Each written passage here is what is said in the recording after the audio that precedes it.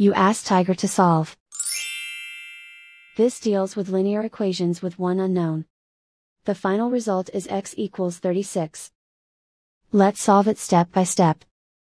Isolate the x.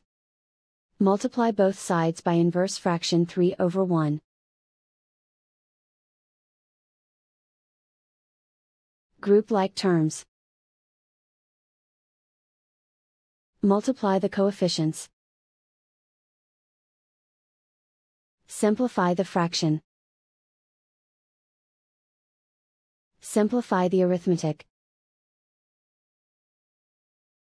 And so the final result is x equals 36.